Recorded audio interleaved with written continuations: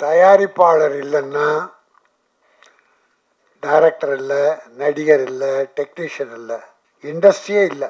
தயாரிப்பாளர் இல்லை அப்படின்னா நடிகர் இல்லை டைரக்டர் இல்லை விநியோகஸ்தர் இல்லை யாருமே இல்லை அப்படின்னு சொல்லிட்டு அது உண்மைதான்.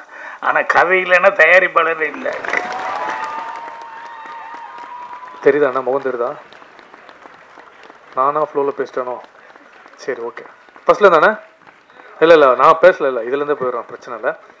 ஆ ஓகேண்ணா. ஓகே. தேங்க்யூண்ணா ஒரு ட்ரோல் கண்டென்ட் இழுத்து விட்டாங்க. நாளைக்கு அதுதான் விஷயமா வரும்னு நினைக்கிறேன்.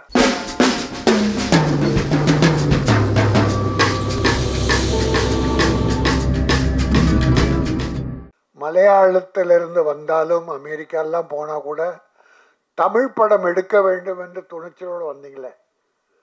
அதுக்காக என்னுடைய உள்ளம் நிறைந்த பாராட்டுகள்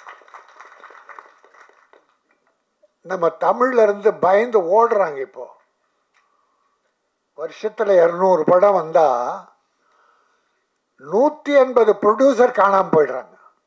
அவ்வளோதான் அவன் க்ளோஸ் ஃபீல்டில் இல்லவே என் தம்பி போஸ் மிக அற்புதமாக பேசினார். ஏ டு செட் அத்தனை கருத்துக்களை நிறைவாக சொன்னார். இந்த இண்டஸ்ட்ரி அப்படிதான் இருக்குது இதற்கு காரணம் குறிப்பாக நான் சொல்ல விரும்பல. பொதுவாக பல இயக்குனர்கள் காரணம் பல நடிகர்கள் காரணம். இருபத்தஞ்சு நாளில் படத்தை முடிச்சு கொடுத்துருக்காரு டைரக்டர் இருபத்தஞ்சு நாளில். எங்கள் ஃபீல்டில் ஒருத்தர் நிரூபித்து காட்டி கொடி கட்டி பறந்தார். ராமநாராயணன் ஒரு டைரக்டர் அவர் ஹீரோக்களை நம்புறதை விட மிருகங்கள் அதிகமாக நம்புவார். ஒவ்வொரு படத்திலும் ஒரு கதை.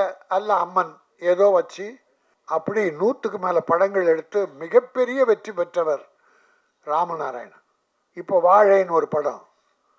அப்புறம் அப்படி சில படங்கள் சின்ன சின்னதாக நம்முடைய தமிழ் பண்பாடு கலாச்சாரம் கிராமியம் இதை அடிப்படையாக வச்சு எடுக்கிற படங்கள்லாம் வெற்றி பெறுது. நம்ம மக்கள் வந்து பார்க்குறாங்க. அதனால் இந்த சேவகர் படம் நிச்சயமாக வெற்றி பெறும். அந்த ப்ரொடியூசர் மனசுக்கும் டைரக்டர் மனசுக்கும் நடித்த டெக்னீஷியன் அத்தனை பேருடைய மனசுக்கும் இது ஒரு பெரிய வாழ்வை தரும். சேவகர் சேவை செய்பவன் இல்லாதவர்களுக்கு கொடுப்பவன் முடியாதவர்களை கைதூக்கி விடுபவன் பிரதிபலன் பார்க்காமல் உழைக்கிறானே அவன்தான் சேவைக்கு அதிபர் சேவகர். ஆனா இந்த காலத்துல என்ன நடக்குது நாட்டிலன்னா கையூட்டு பெறுகிற அதிகாரிகள் அறுபது எழுபது சதம். நேர்மையான அதிகாரிகள் ஒரு முப்பது சதம் கூட இல்லை. இல்லாம இல்லை இருக்காங்க. பல அக்கிரமங்கள் நடக்கிறதுக்கு பல அதிகாரிகள் காரணம் அரசியல்வாதிகள் காரணம். இன்றைக்கு எடுத்ததுக்கெல்லாம் முதலமைச்சரை சொல்றோம். கள்ளக்குறிச்சி முதலமைச்சர் என்ன பண்ணார்? இத்தனை போச்சு? போனது தப்பு குடிச்சது தப்பு கள்ளச்சாராயம் விற்றது தப்பு. யாரும் ஒத்துக்கல. அந்த இலாக்கா அதிகாரிகள் ஒழுங்கா பார்த்துருந்தா அது நடந்திருக்காது. அது எதுக்காக சாட்டுறோம்னா இலாக்கா முதல்வர்கிட்ட இருக்கு. அதனால முதல்வரை சொல்றாங்க. எல்லாத்தையும் முதல்வர் நேரடி அவர் அடிக்கடி அதிகாரிகள் மீட்டிங்கை போட்டு போதைப் பொருளை கட்டுப்படுத்துங்க கள்ளச்சாராயம் விற்கக்கூடாது என்று எத்தனை மீட்டிங் போடுறார்? அதாவது இது எப்படி இருக்குன்னா தாம்பரத்துக்கு போகிற போகிறதுக்காக ஒருத்தன் மவுண்ட் ரோட்டில் பஸ்ஸில் நின்னான் பஸ்ஸுக்கு. ஒரு பஸ்ஸு ஃபுல்லாக இருந்து நிற்காமல் போயிடுச்சு. ரெண்டாவது பஸ்ஸு பார்க்குறான் நிற்காமல் போகுது. மூணாவது பஸ்ஸு நிற்காமல் போகுது. அவனுக்கு வெறுப்பாயிடுச்சு. என்ன ஒரு பஸ்ஸு கூட நிற்க மாட்டேன்து. இந்த முதலமைச்சர் என்ன பண்ணுறார் பஸ்ஸு நிற்க மவுண்ட் ரோடில் நிற்கலன்னா முதலமைச்சர் என்ன பண்ணுறார் சரி அடுத்த ஒரு பஸ்ஸு காலியாக வந்தது. அதில் சீட்டு கிடச்சி உட்காந்துட்டான் அவன் போகிறான் போகும்போது இந்த பஸ்ஸு கொஞ்சம் காலியாக இருந்தால் அடுத்த ஸ்டாப்பையும் நிற்கிது ஏற்றிக்குது பிறகு அடுத்த பஸ் ஸ்டாப்பையும் நிற்கிது ஏற்றிக்குது இவன் கத்துறான் அங்கே. என்ன முதலமைச்சர் பண்ணுறார் இந்த பஸ் எல்லா இடத்துலையும் நின்று நின்று போகுது. நான் சீக்கிரம் போகணுமே தாம்பரத்துக்கு. அப்படி உனக்கு ஒரு தேவைன்னா உனக்கு கிடைக்கலன்னா குறை சொல்லுவேன் கிடைச்சா ஆக அப்படி சமுதாயத்தில் அதிகாரிகளை தட்டி கேட்கிற உரிமை எல்லாருக்கும் இருக்கணும். எவனா இருக்கட்டும். எந்த அதிகாரி அரசியல்வாதியா இருக்கட்டும். தட்டி கேட்கிற உரிமை உங்ககிட்ட இருக்கணும். ஒவ்வொரு மனிதனுக்கும் தனி மனிதனுக்கும் அந்த ஒழுக்கம் நெறி இருக்கணும். ஆகவேதான் இது அற்புதமா சில சமுதாய சீர்கேடுகளை சுட்டிக்காட்டி போஸ் டைலாக் நிறைய பேசுகிறார் சமுதாய சீர்கேடுகள் லஞ்சம் ஊழல் அதிகாரிகள் செய்கிற தவறு அரசியல்வாதி செய்கிற தவறு அத்தனையும் தட்டி கேட்கிற ஒரு அற்புதமான படமாக இருபத்தைந்து நாட்கள் எடுத்திருக்கிறார் ஆக அந்த டைரக்டரை நான் பாராட்டுகிறேன். இன்னைக்கு தமிழக முதல்வர் உலகெங்கும் போய் தொழில் முதலீட்டாளர்களை ஈர்க்கிறார். எங்கள் கேரளாவிலேருந்து வந்து தமிழ் படம் எடுக்கிறீங்க. ரொம்ப மகிழ்ச்சி அந்த ஹீரோயினி எனக்கு கொஞ்சம் கொஞ்சம் தமிழ் தெரியும் அதுകൊണ്ട് எல்லாரும் மன்னிச்சிடுவா நான் இப்போ மலையாளத்தில் சொல்லாம் இது என்னோட ഫസ്റ്റ് மூவி ഇത് ആദ്യമായിട്ട് റിലീസാവുന്ന എന്റെ ആദ്യത്തെ മൂവിയാണ് ഇതിന് എനിക്ക് ഒരുപാട് സന്തോഷമുണ്ട് കാരണം ഈ ഒരു അവസരം തന്ന ഡയറക്ടർ സന്തോഷ് സാർ എനിക്ക് ഒത്തിരി സന്തോഷമുണ്ട്. സാറ് സാറിന്റെ ഹെൽപ്പാണ് സാറ് സാറിന്റെ സപ്പോർട്ടാണ് ഇപ്പോൾ ഞാൻ ഇങ്ങനെ നിൽക്കാൻ കാരണം. കാരണം അന്ന് നമ്മൾ ഷൂട്ട് ലൊക്കേഷനിൽ വെച്ച് സാർ ഒരുപാട് ഹെൽപ്പ് ചെയ്തിട്ടുണ്ട് സപ്പോർട്ട് ചെയ്തിട്ടുണ്ട്. അപ്പം സാറിന് എനിക്ക് തീർത്ത തീരാത്തത്ര സപ്പോർട്ട് തന്നതുകൊണ്ട് ഒരുപാട് താങ്ക്സ് ഉണ്ട്. പിന്നെ അതുപോലെ പ്രജിൻ ചേട്ടൻ ഞാൻ ഒരുപാട് ടേക്കിൽ പോയ ഇതിലൊക്കെ നല്ല ക്ഷമയോടെ നിന്നിട്ടുണ്ട്. അതുകൊണ്ട് ഒരുപാട് താങ്ക്സ് ഉണ്ട് രണ്ടുപേർക്കും. പിന്നെ എല്ലാവർക്കും ഈ ഇരിക്കുന്ന എല്ലാവർക്കും എനിക്ക് ഒരുപാട് താങ്ക്സ് ഉണ്ട് കാരണം ഈ ഒരു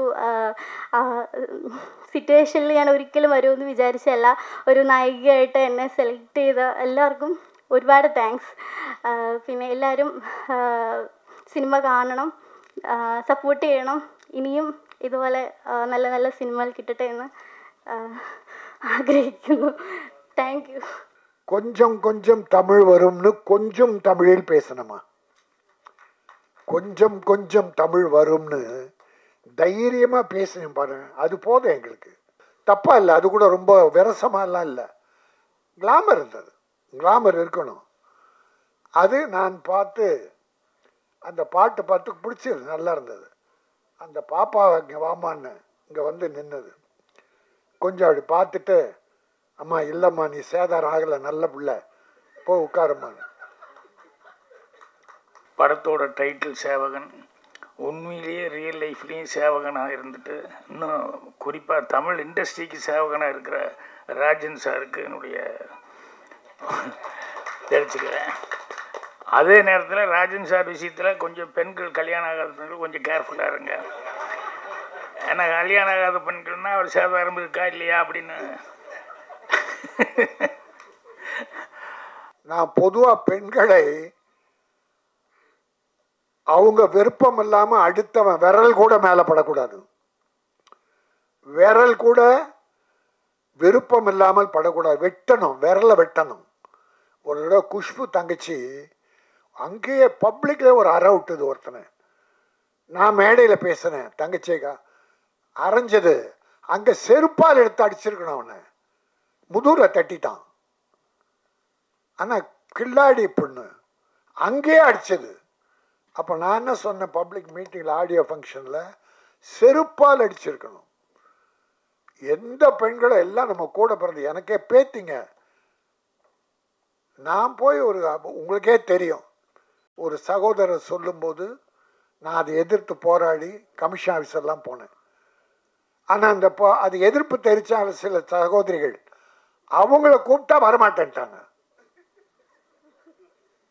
ஏன்னா வேறு எதனா வெளியிட்டு போகிறாங்கன்னு அவங்க வரல. நான் போனேன். ஏன்னா தாய்மார்களுக்கு இந்த உலகத்தை இந்தியாவை காப்பது தாய் குலம். இன்னைக்கு குடும்பத்தை குடிகார குடும்பத்தை காப்பது தாய் குலம். குழந்தைகளை காத்து படிக்க வைப்பது தாய் குலம். ஒரு தாய் இல்லைன்னா இன்னைக்கு தமிழ்நாட்டில் வீடுகளே இல்லை.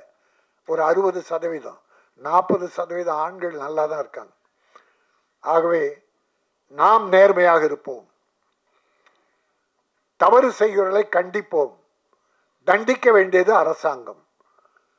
எல்லாவற்றிலும் மன தைரியம் மன உறுதி வேண்டும். இந்த படம் வெற்றி பெற வேண்டும். இந்த நாட்டில் உண்மையான சேவகர்கள் ஏழைக்கு உதவுகிற சேவகர்கள் அது அரசியல்வாதியோ அதிகாரிகளோ யாராக இருந்தாலும் அவர்கள் நல்லவர்களாக வெற்றி பெற்றவர்களாக சமூக சேவை செய்ய வேண்டும். அதை வலுத்து வலியுறுத்துகிற சேவகர் படம் மிகப்பெரிய வெற்றி பெற வேண்டும் என நிறைவு வேண்டி வாழ்க பட தயாரிப்பாளர் தாமஸ். வாழ்க கோபிநாத் இயக்குனர். நன்றி வணக்கம்.